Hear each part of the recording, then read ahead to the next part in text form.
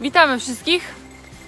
Dzisiaj jesteśmy na terenie Parku Narodowego Bory Tucholskie. Pierwszy dzień. No i dzisiaj robimy taki krótki rozruch.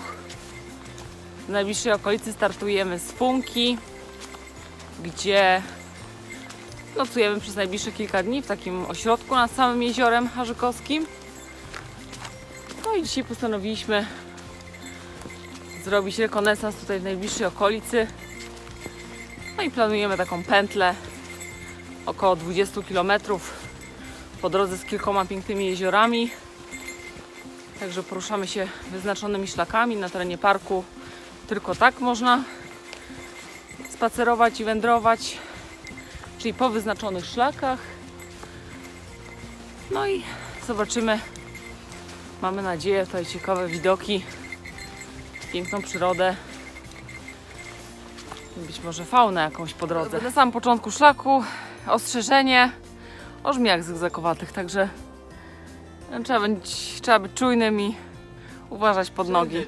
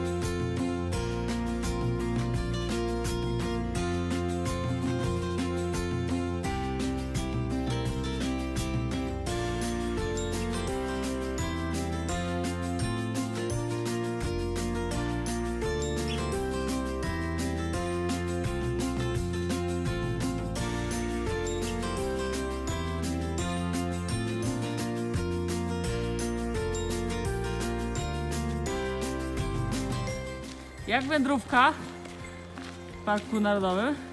Bardzo przyjemna. Rzeźko jest, przyjemnie.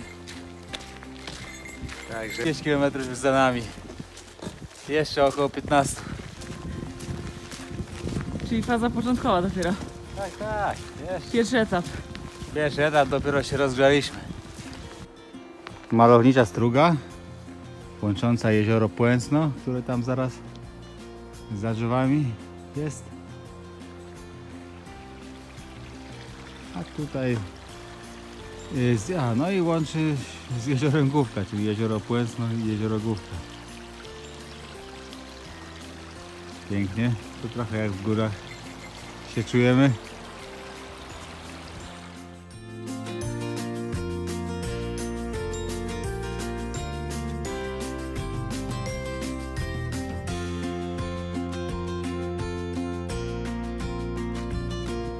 Kolejny przystanek na szlaku. Dotarliśmy nad jezioro Nierybno. Jednak trochę tury pies. Wbrew nazwie.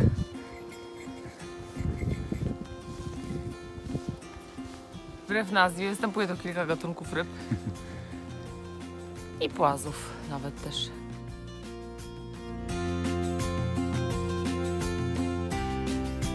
Żegna się dom Bartuś.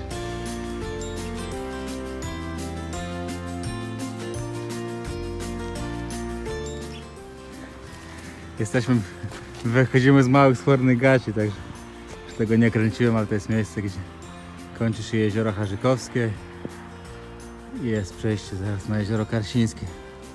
Również spore. I zaczął padać śnieg. Tak, wyszliśmy z lasu i zaczął padać śnieg. W końcu zima. Kolejnego dnia wędrówkę rozpoczęliśmy w małych, spornych gaciach. Będziemy się, znaczy poruszamy się po terenie Zaborskiego Parku Krajobrazowego. Idziemy wzdłuż jeziora Krasińskiego.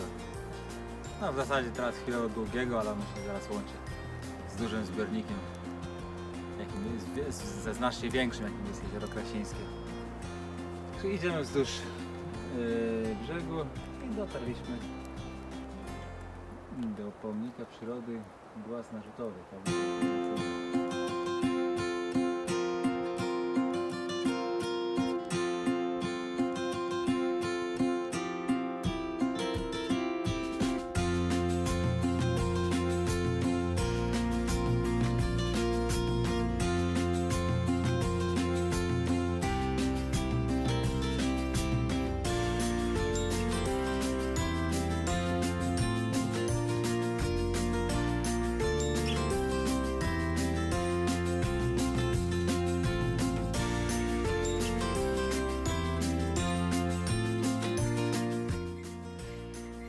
Kolejny dzień.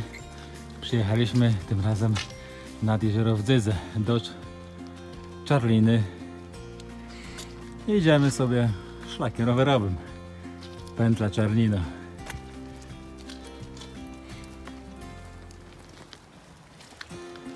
Rozgrzewka.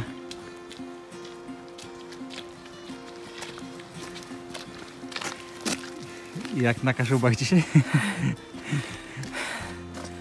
Pada od samego rana, ale idziemy do lasu, więc się trochę schronimy. Zobaczymy. Pętlę Czarlina dzisiaj mam w planie. Hej. Da, to jeden z najpopularniejszych szlaków trajektory w Polsce. Doskonale nadaje się dla początkujących kajakarzy i rodzin z dziećmi.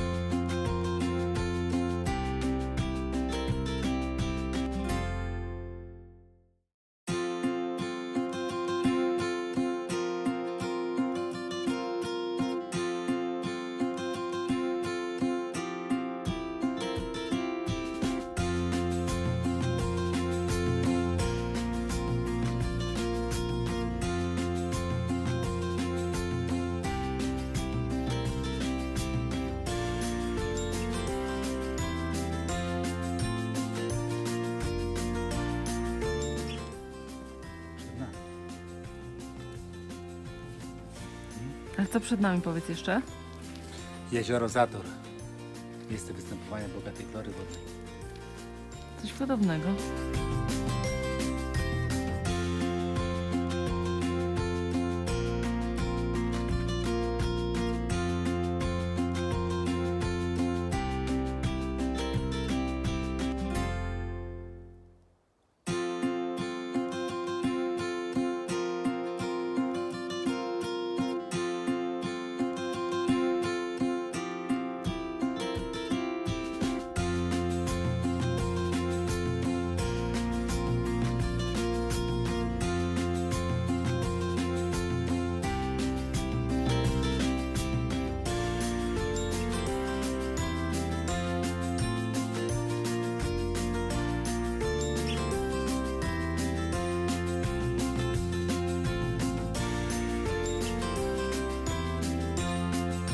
Na trasie co kawałek mamy takie właśnie kwiaty. Idealnie jest też przysiąść, odpocząć.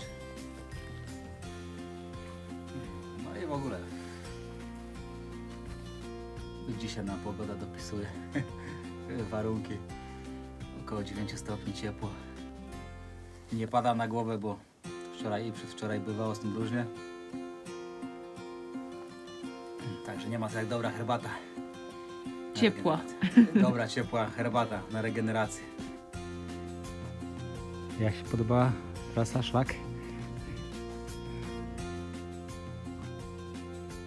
Może nie aż tak jak w, park, w Parku Narodowym, ale no, trochę inny.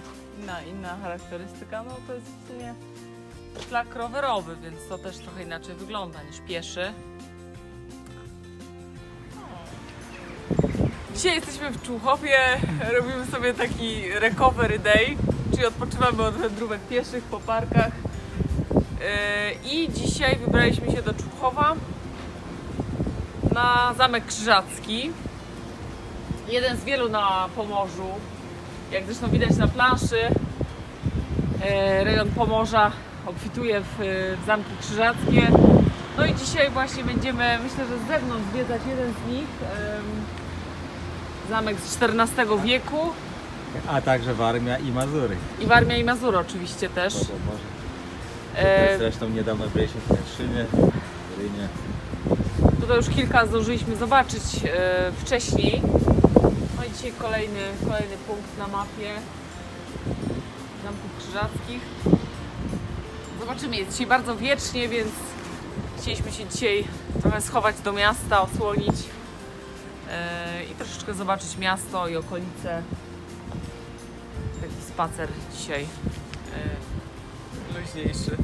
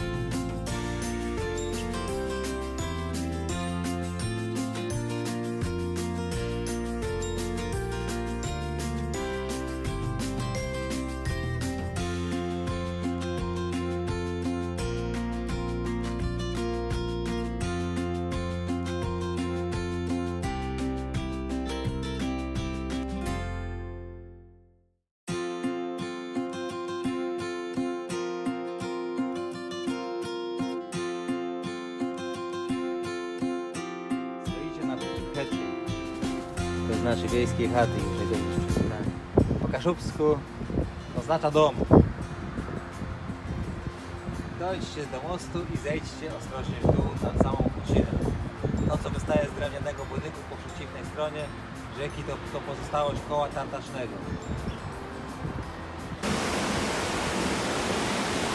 Nad Peciną. Tutaj się znajdował właśnie młyn.